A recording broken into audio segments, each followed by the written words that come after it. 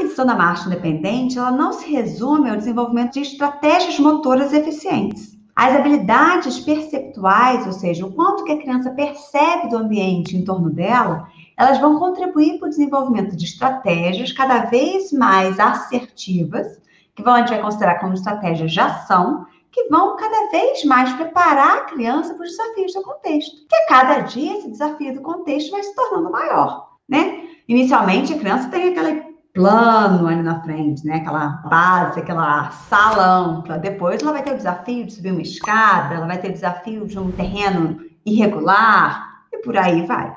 Então, assim, diversos estudos têm investigado, por exemplo, a criança andando com pesos corporais no corpo, tá? Então, a mochilinha, né, esse colete com pesos corporais sendo adicionados para ver. Será que na hora que eu adiciono peso para ela, ela usa uma estratégia motora diferente? Né? Então, eu estou modificando o corpo da criança. E aqui são estratégias do contexto. Na hora que eu adiciono uma tarefa no contexto, no ambiente, né? Como, por exemplo, uma rampa de diferente inclinação, será que ela modifica a estratégia motora? Então, isso parte do processo de aquisição de uma habilidade e envolve a aquisição da marcha.